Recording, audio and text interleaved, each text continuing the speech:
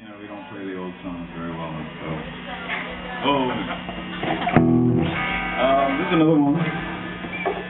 That's new.